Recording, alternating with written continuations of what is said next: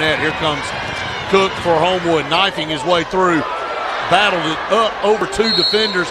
Got his offensive rebound, put it in off the glass, and he'll go to the line to try to complete a three-point play.